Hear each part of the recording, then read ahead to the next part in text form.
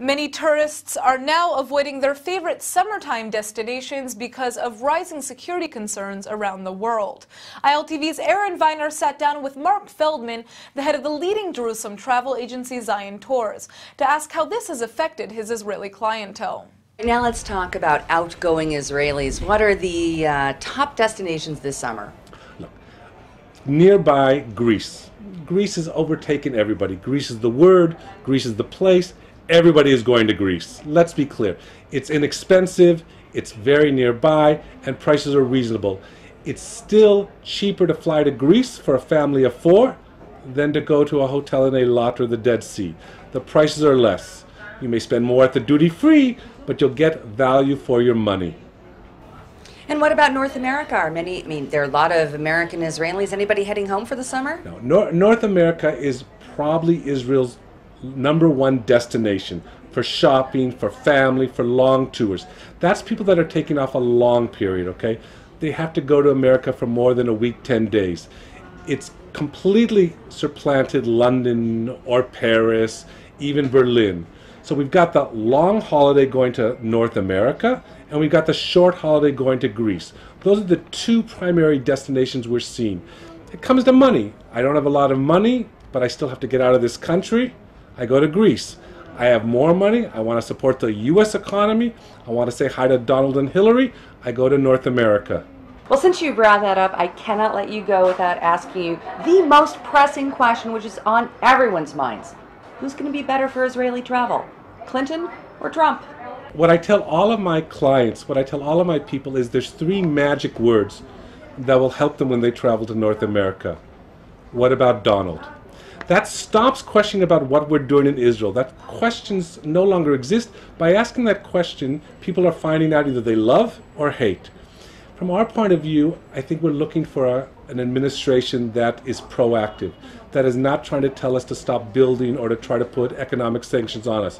Whether it's a Democratic administration or a Republican administration, I'm not sure.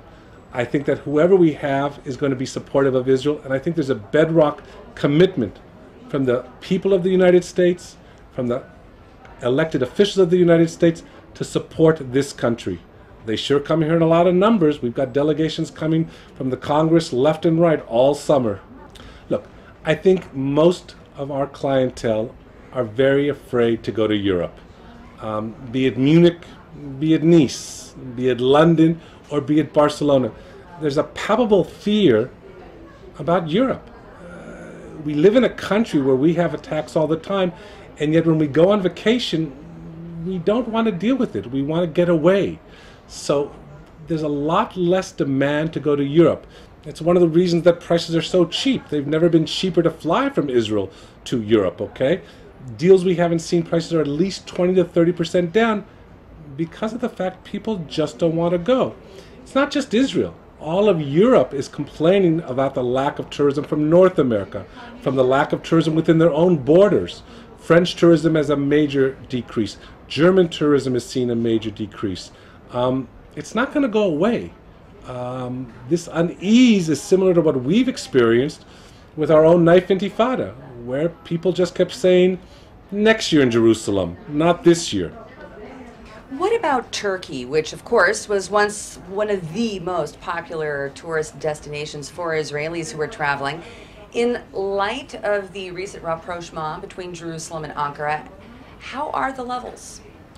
Look, the president of, of Turkey ha- has repeatedly, over many years, called us names, made accusations. Yes, he's turned over apparently a new bone but there's a lot of hesitation. The workers' committees, which are the large groups that take from the electrical thing, have decided no thank you. The individual has said no thank you. Ask this question in a year. If we have a year where Turkey doesn't badmouth us, doesn't cause problems in the United Nations, then we may return. But today, between what's going on in Turkey with the terrorism there, the attempted coup last month, nobody is saying, hey, let's vacation in Turkey. It should be a fun place. So, how do you advise your clientele who are already abroad and some sort of an incident may have taken place, whether in an airport that they're supposed to travel through or where they're actually staying? First and foremost, See something, say something. We're emphatic about letting our people, they have to be more alert. They can't be standing in a long line, be it at Disneyland Paris or at the Vatican in Rome, and just ignore what's going on.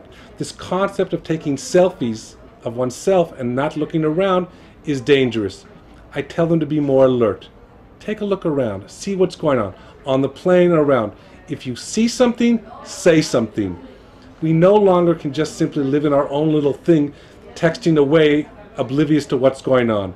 That's the biggest message we're telling people today. Wherever they fly, wherever they are, be more alert.